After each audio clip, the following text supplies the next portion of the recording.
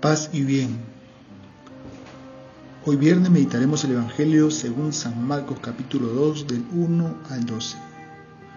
Hoy 18 de enero se inicia la semana de la oración por los cristianos, que comprende desde el 18 hasta el 25 de enero, donde muchas iglesias se unen para orar, celebrar la misa, compartir lecturas bíblicas, con el fin de cumplir el deseo de Jesús, que todos sean uno, como tú, oh Padre, estás en mí y yo en ti, para que también ellos estén en nosotros, para que el mundo crea que tú me enviaste. Y la iglesia ora unida porque cree en la oración de intercesión. Y esto nos lo va a confirmar este episodio del Evangelio según San Marcos. Y como no podían acercarlo a él, dice el evangelista, a causa de la multitud levantaron el techo sobre el lugar donde estaba Jesús y haciendo un agujero descolgaron la camilla con el paralítico. Al ver la fe de estos hombres, Jesús dijo al paralítico, Hijo, tus pecados te son perdonados. Aquí vemos cómo el paralítico es sanado por la intercesión de sus amigos.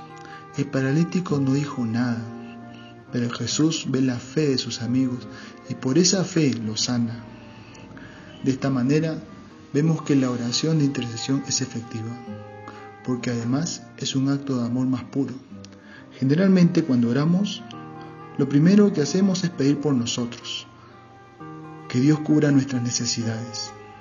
Pero en este caso, en la oración de intercesión, nos olvidamos de nosotros para pedir por el otro. Y esto lo ve Jesús con mucho agrado.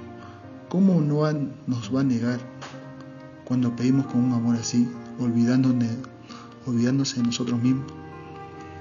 La iglesia como madre siempre pide por sus hijos. En esta fecha pide para que la iglesia se una a todos los que creen en Cristo y que sea posible creer, porque hay más elementos que nos unen de los que nos separan. Ahora en estos tiempos, los cristianos estamos más unidos que nunca por el martirio, por la sangre de tantos mártires que dan su vida por Cristo. Ahí solo se reconoce un solo título, cristianos. Que nuestra Madre la Virgen María nos ayude a orar más por intercesión y a pedir la unidad de sus hijos. Paz y bien y que Dios te bendiga.